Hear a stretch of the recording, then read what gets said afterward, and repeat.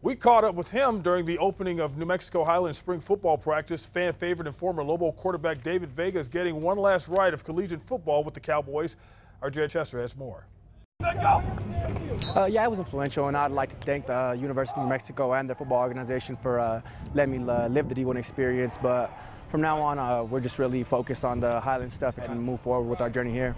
Roswell native David Vega was a walk-on at UNM where he appeared in five games in the 2013 season. Vega showcased his natural ability, exuded confidence, and it was evident this kid left everything on the field. Um, just everything that I've brought to the table before, so it's just basically my competitiveness, and just try to get out here and make the team better in whatever way I can. I've always been impressed by his athleticism, his ability as a quarterback. I'm excited to see him out here on the field. I'm excited to see what he can do. And, uh, you know, we've both been on different journeys, and it's pretty cool that we're here together, and I know he's fired up as well.